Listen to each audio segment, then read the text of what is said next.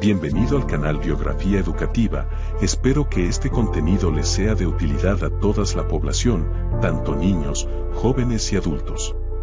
Nicolás de Obando y Cáceres, nació en el 1460, en Brozas, provincia de Cáceres.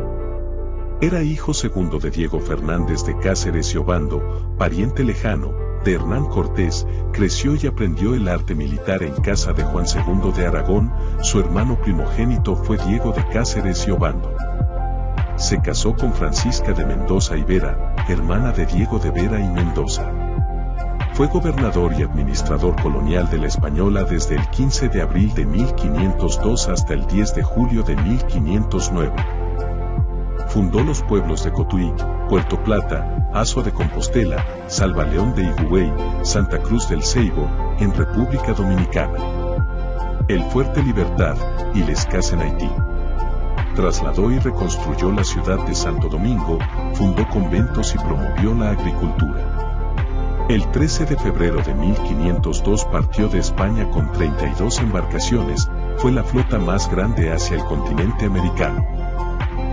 Se embarcaron 2.500 colonizadores, y a diferencia de Cristóbal Colón, este grupo fue elegido al azar, para representar a la española en el Nuevo Mundo. Cuando Bando llegó al Nuevo Mundo, se encontró con que la población nativa se hallaba en estado de rebelión.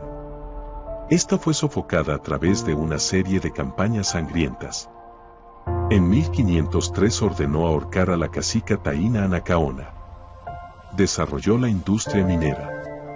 Introdujo el cultivo de la caña de azúcar, con plantas importadas de las Islas Canarias.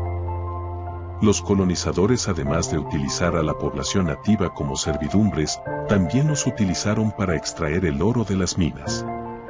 Obando importó por primera vez esclavos africanos en la española, según las leyes los indígenas americanos no podían ser tratados como esclavos. Muchos de los miembros de la élite española solicitaron grupos de esclavos para trabajar como sirvientes en sus casas particulares. La mayoría de estos esclavos fueron enviados para trabajar en los campos de caña de azúcar. Obando envió a Andrés de Morales para explorar completamente la isla de la Española. Morales completó todo el mapa de la isla. Sebastián de Ocampo fue enviado en 1506 para averiguar si Cuba era una isla o parte del continente, tiempo después, volvió con la información de que Cuba era una isla. En 1508, Juan Ponce de León fue enviado con 50 hombres para conquistar la isla de San Juan de Puerto Rico. En sus primeros años como gobernador, Obando había disfrutado de plenos poderes y una autonomía. Sin embargo, en 1507, al tomar el rey Fernando de Aragón de nuevo el control de Castilla, el poder de Obando empezó a decaer. El 9 de julio de 1509 llegó a Santo Domingo Diego Colón como gobernador. Obando fue sometido a juicio de residencia y tras ello el día siguiente embarcó de vuelta a España.